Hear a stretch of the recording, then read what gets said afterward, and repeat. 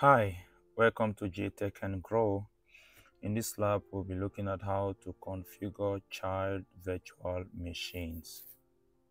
If you're new here, please don't forget to hit the subscribe button and you can go ahead and check out other TestOut videos or TestOut lab simulations on this channel and other IT related contents. So let's get to work. In this lab, your task is to delete the server parent virtual machine. We are on the CorpServer, server manager. We go to tools and Hyper-V manager. Click on CorpServer. This is the virtual, this is the server parent virtual machine. We have to turn it off. It's running. It shows the machine is on we cannot delete the machine when it's on. We turn off.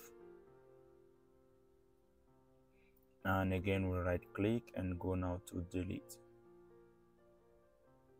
So we just deleted the parent the server parent virtual machine.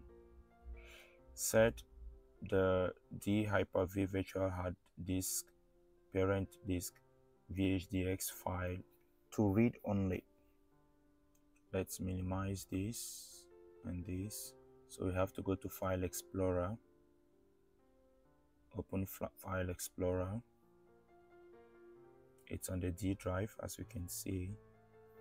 Click on this PC double click on the Hyper-V D drive. It's on the Hyper-V. Double click on Hyper-V. Virtual hard disk double click there. And here we have the parent disk vhdx file. Right click and go to properties. And here you can find read only. Check that and okay. We are done with the second task. We can close this for now.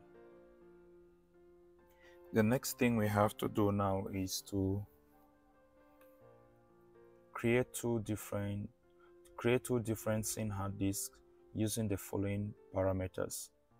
Each hard disk has the same name but uses the same has different name excuse me but uses the same disk format.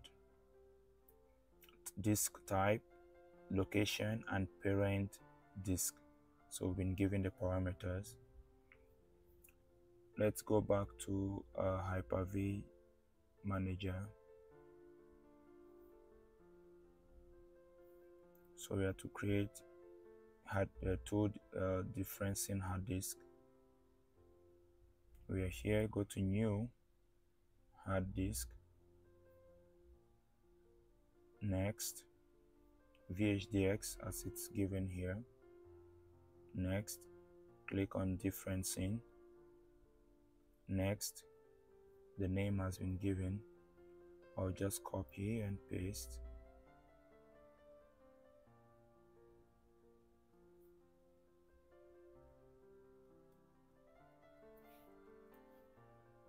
Next so here we have to choose specify the virtual hard disk that you would want to use as the parent for the new differencing virtual hard disk so the parent has been given here.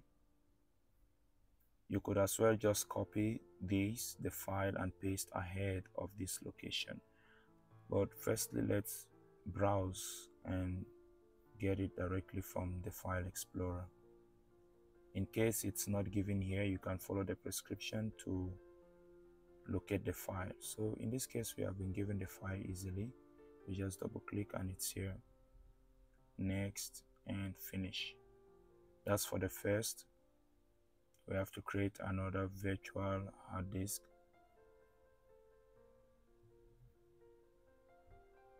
Next please don't forget to subscribe if you've not done so. Thank you. Next differencing. Next the name for the second hard disk. I'll just paste it there.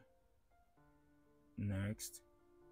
So in this case now like i said for the first one excuse me you can just copy this and paste right ahead of this location. Next and finish. So we are done with our two virtual hard disks.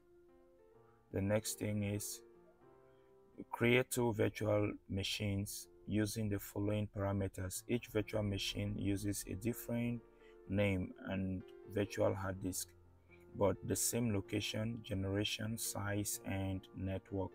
So what you have to note here is for virtual machine with the name server 1 excuse me winter is fast approaching.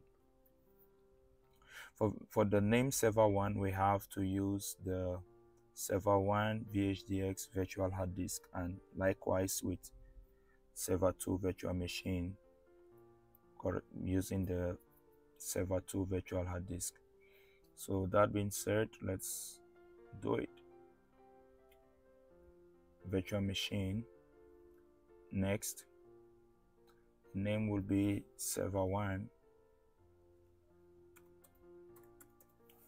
server 1 next. Generation 2 next. The size is 4096 next. The network type is external. Next. So in this in this case we have to we don't have to create a new hard disk. We have to use an existing virtual hard disk which we already have. And you browse for for the server one virtual machine we use the server one vhdx virtual hard disk. And that's it for the first virtual machine. We do the same for the next virtual machine. Next the name is server 2 second generation 2 4096 next net connection is external. Next use an exi use an existing excuse me use an existing virtual hard disk and you can browse and get it. Server 2 vhdx next and finished. And I think that should be all for this lab. Let's check to see if we got it all correct. And that's it. Please don't forget to hit the subscribe button and like the video. If you have any issues related to TestOut or any other IT related stuff challenge you're facing please do leave a comment at the comment section. Thank you. See you in the next video